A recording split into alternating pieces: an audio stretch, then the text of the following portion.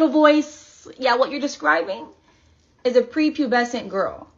Some of us have been through puberty and still sound like this. Although my acne makes it look like I'm currently going through puberty, which is cool. No, but for real, I get what you're saying, and I've never dated anyone that's been like obsessed with my voice. I like to think that people date me because I'm funny and because I got a dump truck. As we all know, all hot people have tummy problems. I literally just went from my toilet downstairs, um, Uh, after having a really chaotic moment, and, and I thought I was done, and now I'm upstairs on another toilet.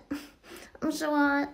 Girls, tell me about a time where your quick thinking probably saved your life. I seriously have so many of these. But this time I was in LA and it was late at night at a friend's party and I was leaving and my friend got an Uber and I made sure she got her Uber okay and then I got my Uber. And the dude was weird from the start, just like saying weird stuff about my voice and it's just like annoying and I feel like it's inappropriate when I'm like paying you to drive me home. And he was slurring his words and then he started swerving into the lane of the like oncoming traffic and luckily it was very late at night so there weren't a lot of cars. But I was like, what am I gonna do? Like, I don't know what's going on with this dude. And then at the next red light, he started falling asleep.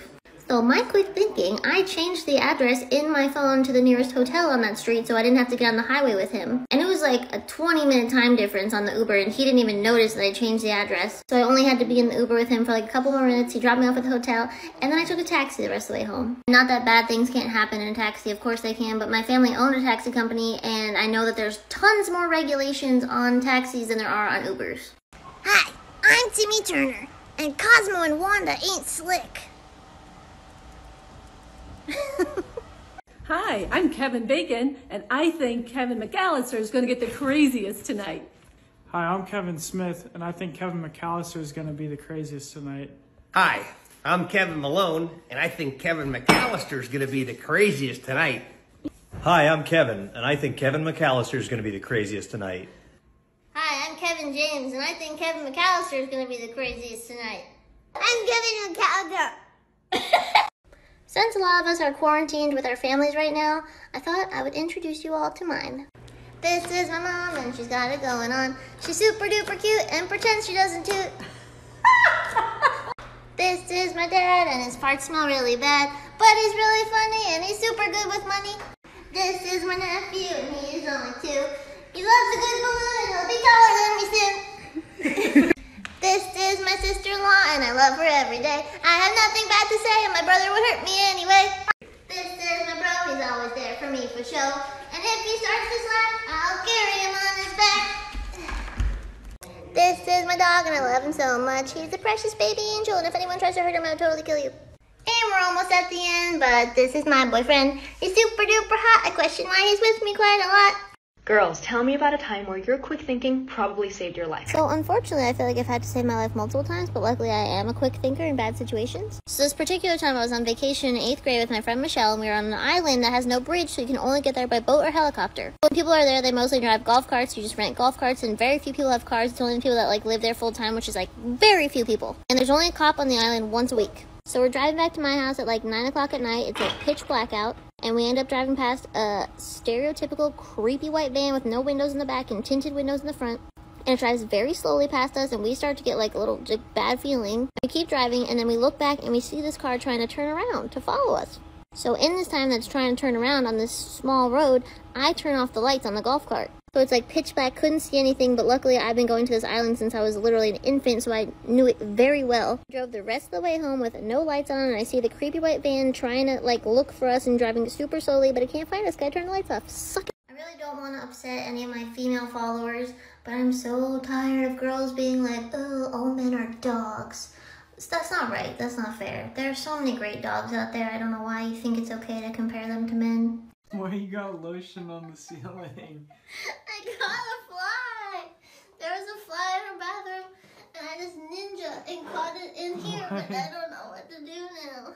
Oh boy. What do you think? I don't know. I was like, this is such a good idea. I'll catch him in here. And now I'm can I get my arm? do you think this is gonna work? Yeah, sure. Did you get it? Yeah, let's see. Oh, it... What? What? Wait, let's do it outside. Come on. Look at He's in there! Look there. Goodbye. Goodbye. High five! Yeah.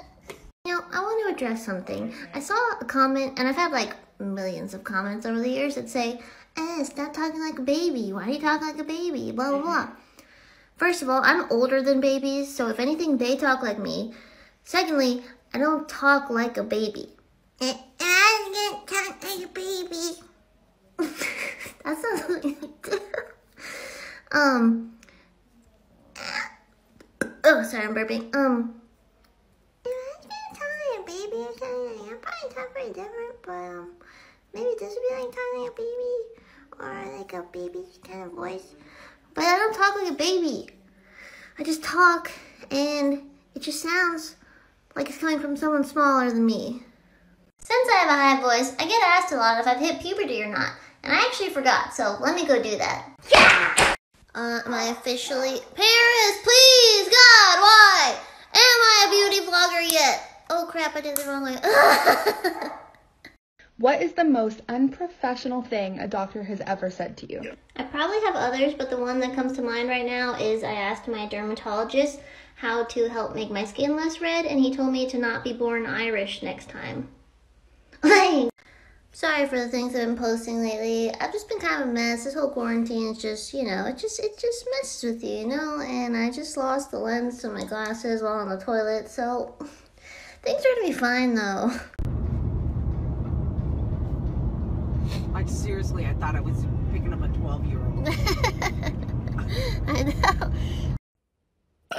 This is stupid beauty filter. Now it's off. Okay. So I'm just gonna try to make this short, but it's gonna be hard for me. I was scrolling through Instagram and I came across this page that was like showing um, celebrities like before and after uh, plastic surgery and Botox and lip fillers and all this stuff. But they were all people that said that they didn't have any surgery or fillers or Botox or whatever else. And like they clearly did. And that is so annoying to me um, because there's just this standard of what we're supposed to look like. And the people that set this standard don't even look like that. And I don't blame them because of the amount of criticism that they get about their looks because for whatever reason, the internet uh, makes people think that you should comment on other people's looks like, no, you shouldn't. It doesn't matter. Your opinion is literally so relevant on the way someone looks. Like, stop. And probably on most things. But it's just so sad that they feel the need to get all this work done and then lie about it so then all of their millions of people that they influence think that like you should naturally look like that but no one naturally looks like that and they don't even look like that after all the surgery and it's just this vicious, never ending cycle of being told you don't look good enough and then they get work done and lie about it and then still use Photoshop and everything else. And it's just so unrealistic and stupid. So, just annoys me. So here's my acne today.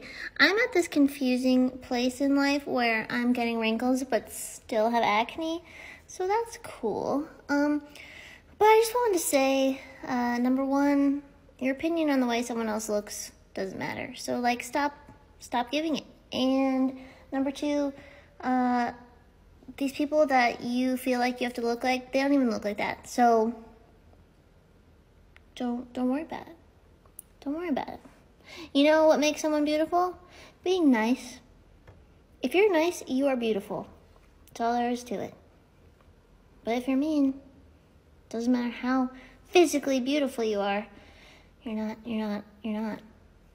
God, I'm so eloquent.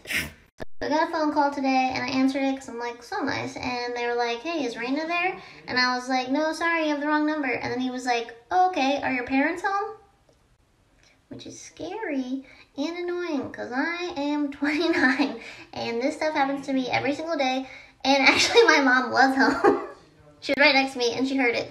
So she could vouch for it because some of you think I make this stuff up. I don't have to make it up. These things happen to me literally every day. No need to make it up. So I wouldn't say I'm superstitious, but I am a little stitious. And these cats that I'm feeding right now look exactly like my pants. I don't know what that means. So I don't know if you guys know this or not, but I bought a house and I freaking love it. Look, Cam mowing our lawn. Oh, he's done. I don't really have any furniture yet, but these beams are from the Hershey Chocolate Factory, which is so cool. And I have the most important thing.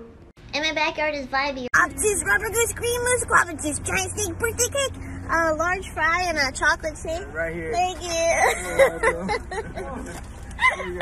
you. I'm getting ripped tonight. R.I.P. that Optus rubber goose cream mousse guava juice, giant snake birthday cake, large fry, chocolate shake. Guys, don't tell my mom I'm eating Lucky Charms for the third time today. Why won't you stop recording? I just want you all to know that I carried all 48 of these water bottles up at one time, ow, from my garage because, ow, say it with me, I'd rather die than make two trips. That's right. Good job, guys. See you later. Happy St. Patrick's Day, everybody. I just want to say I'm proud to be Irish. I'm like 64% Irish, but we're not all the same. We don't all like have freckles all over our bodies and most of us don't even really care that much about potatoes and we don't all burn super easily. Some of us tan. So today I had to call a company because there was a leak at our house and when the lady answered, I was telling her what was going on and she was like, you don't sound old enough to have a house. And out loud I was like, haha, but in my mind I was like, you don't sound smart enough to have a job. I've never done a Stitch This video before, so here I go. Stitch this with a cartoon impression. I'll go first. Pikachu! Pika! Pika Pee! Pika! Well, it's Talent Tuesday, and I can't sing or dance, but I can... I can burp. Zero. You're interrupting. Wow, this is a this is a fail. Cameron, I'm serious. This is the last straw. How am I supposed to drink my tea? Guys, uh, I'm about to attempt to put together some IKEA furniture, so if you don't hear from me for a few weeks, that's why. Um, apparently I need someone else to help me, so I hired this thing. He's doing a really good job so far. Great about IKEA furniture is that all the pieces just come in one mixed up bag and um, none of the furniture parts are labeled in any sort of way. And I really hope I'm not screwing this up. Also, by the way, I am hammered right now. Rude! I know it was a bad joke, but stop interrupting me. So just want to point out that this instruction manual is 40 pages. Now they always say